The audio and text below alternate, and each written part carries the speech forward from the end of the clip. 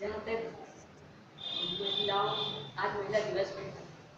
शायद इसीलिए आप ये आज खास तौर पर विषय रखा गया हम सब जानते हैं कि हमारी जो भारतीय संस्कृति है वो प्रकृति से जुड़ी है और अगर नारी के विषय में कुछ कहना हो तो हम उसको चार भाग में अगर डिवाइड कर दें तो हमारे लिए थोड़ा आसान हो जाएगा सब्जेक्ट को बाँध के चलेंगे। बहुत बड़ा विषय है। और जहाँ तक जो आप उत्पीड़न और ये सब बातें कर रहे हैं तो देखते हैं कहाँ तक सच्चाई आई है, कहाँ तक पहुँची कब से आई है। चार पार्ट इसका हम करते हैं। प्रकृति, संस्कृति, सत्यता और शासन। इन चारों को केंद्र बिंदु बनाकर अगर हम नारी को लेके चलेंगे तो नारी की प्रकृति जो है,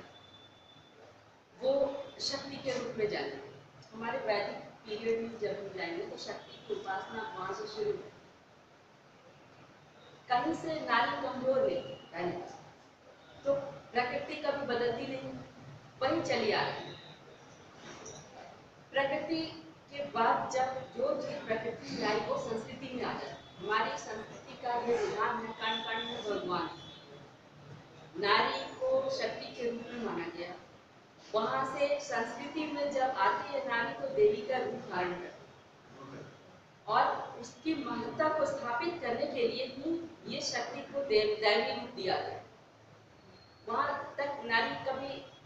आपको नहीं मिलेगा कि नारी कहीं कमज़ोर है अबला है और ऐसा वैसा कुछ नहीं मिलेगा। इसके बाद